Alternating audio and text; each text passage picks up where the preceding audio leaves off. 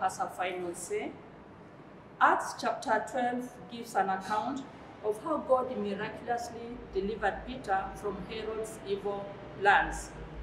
We read in verses 6 to 7 The night before Herod was to bring him to trial, Peter was sleeping between two soldiers, bound with two chains, and sentries stood guard at the entrance.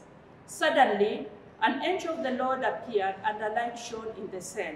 He struck Peter on the side and woke him up. Quick, get up, he said, and the chains fell off Peter's wrists.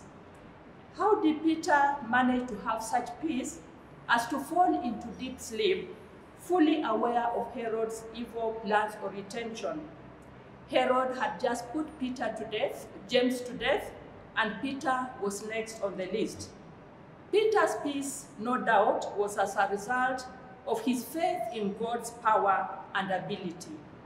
Peter trusted God to control the outcome of his circumstances and fully surrendered to the Almighty God. Indeed, his miraculous deliverance from prison and Herod's pathetic end, as we see it in verse 23, and the, the flourishing of God's word is a testimony that God indeed is always in control.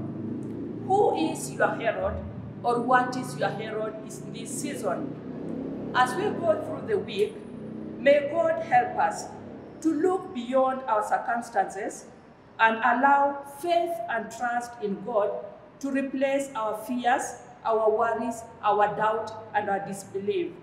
Remember, God only has the final say. Shalom.